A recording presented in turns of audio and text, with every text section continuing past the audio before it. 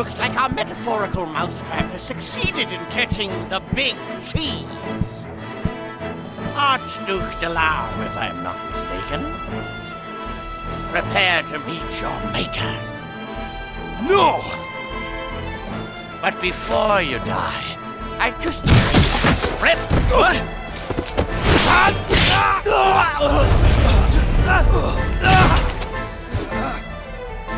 Grandfather, are you all right? Mew, why are you here?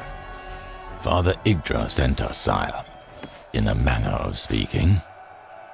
I. I see. Thank you. Take the Archduke. If you can make it out of town, you will find our troops encamped on Greydal Plain. His Excellency will be safe there. You got it. Oh, Grandfather, we must go. indeed.